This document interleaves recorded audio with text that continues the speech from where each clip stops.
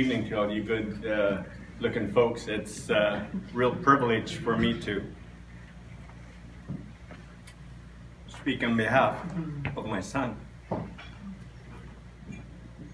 He is a real trooper in a lot of ways.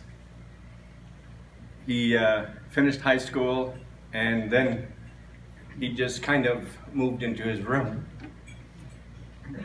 And uh, which didn't make us really that happy.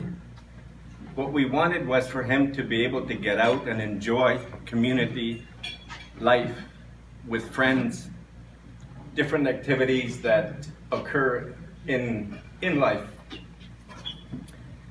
And uh, in December of 15, it started.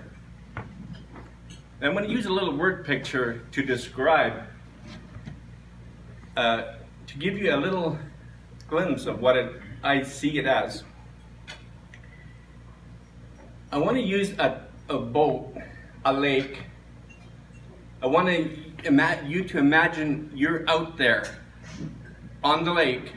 You're wanting to get to shore to some destination, but you only have one oar, one pedal, and the guy at the pedal is tired.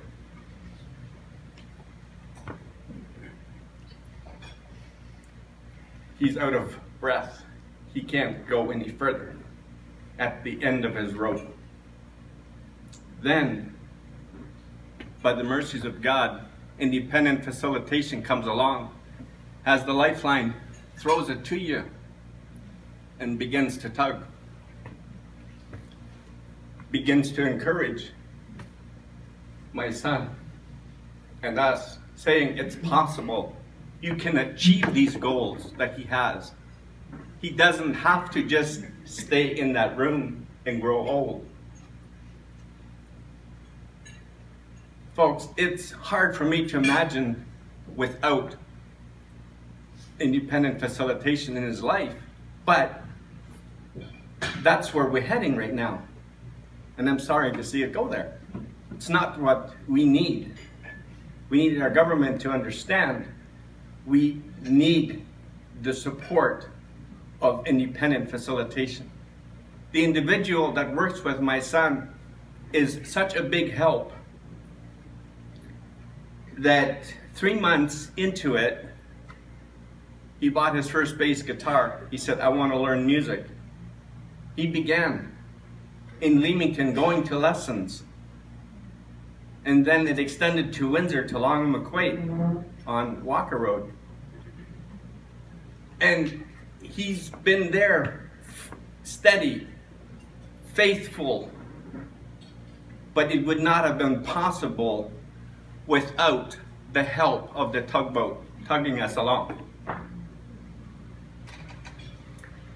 Timing is everything is what a person ahead of me said. Yes, it is everything. If you try and force a person like my son that is not ready to make a move, it won't work. He has to get there mentally.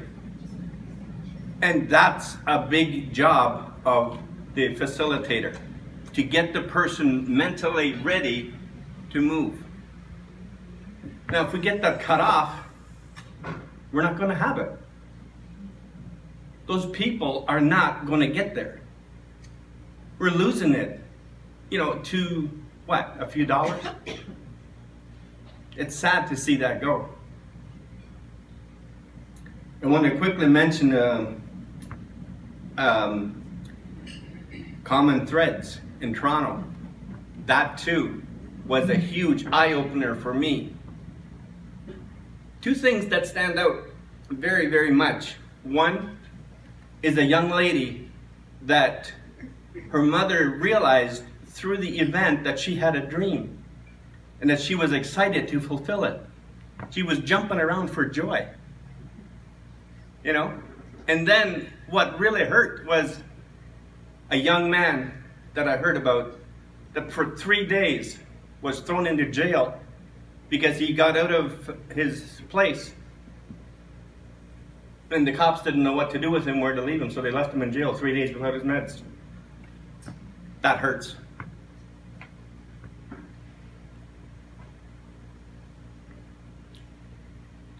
My son loves to joke. As the facilitator will know, he loves to twist things around, turn things around, and say the opposite of what has been said. And uh, it brings a lot of laughter to our house a lot of times. You know, it, it's when the driest moment occurs, he pops up with something that just cracks everybody up. And I'm so glad for that.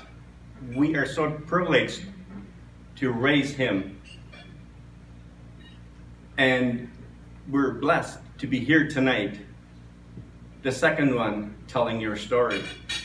And I'm hoping that the, the words that I've said will inspire people to move, not to quit. Because he needs it. There's a lot of people that need it. A lot of us are hanging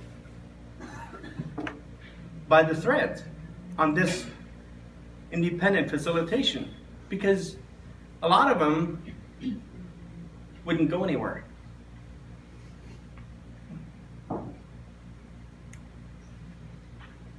And just to leave you on a high note,